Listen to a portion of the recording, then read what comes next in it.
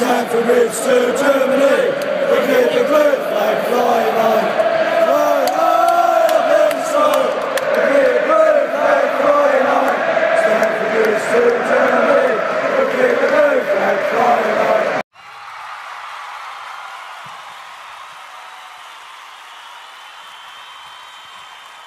all that drama, all that tension, what's it going to be like, what's going on there, what's going on here, it ended up actually being rather comfortable today, didn't it? Yeah, it, it was all in our hands really. Um, it was all down to us to perform, to get the three points. That, that's all we wanted today is to win the game, um, and then everything else would have not mattered to us because we was in a good position before the game. I know everything was tight and um, maybe you have them nerves. I think first 40 minutes of the game it was tight and, and they're a good side. So you're always going to have the nerves going into such a big game like this. Um, but yeah, we knew that if we performed and, and, got the three points, then we'd obviously be in the top four and, and a goal achieved um, from the whole season. You told me last time here, I think it was after Watford, you'd been working on everything, but you measure your success in terms of assists and goals. You got one of each today. uh, stoppage time was magic, wasn't it? Yeah. Finally, Willian isn't playing, so you get to take one. Is that it? Is that it? yeah.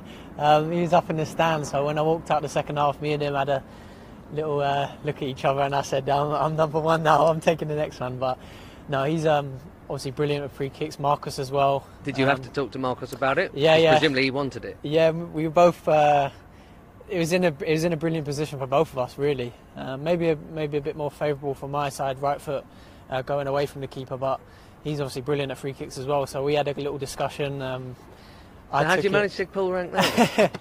well, it, it, was a bit on the right, on the left side, sorry, so I can hit it with the right foot and it's going away from the keeper. So I just said, um, I think I'll, I'll score or get it on target. It's a better opportunity for me he let me take it, and, and obviously I've, I've had a few this season where I've had the opportunity to take it, but none have gone in, and um, I've been disappointed with them this season, but very, very happy that one went in um, today.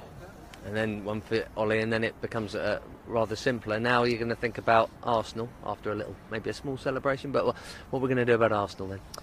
Look, it's a massive game. Um, I think a lot of people before the season wrote us off that we wasn't going to be near the top four and that um, that we wasn't going to win a trophy, and now we've secured top four, and we have the massive opportunity to win a trophy, and that's what this club's about: um, being successful, um, winning trophies. We all know that as younger boys coming through, and um, the experienced older players, Peds, Azpi, have all won massive trophies with this club. So we're raring to win a, win a trophy um, for the first season to, to get top four um, and to win the FA Cup would be brilliant for us. Um, would definitely give us, us that extra confidence going into next season. Um, and yeah, we need to finish off uh, strong. We finished off the Premier League in a strong way, and now we want to win.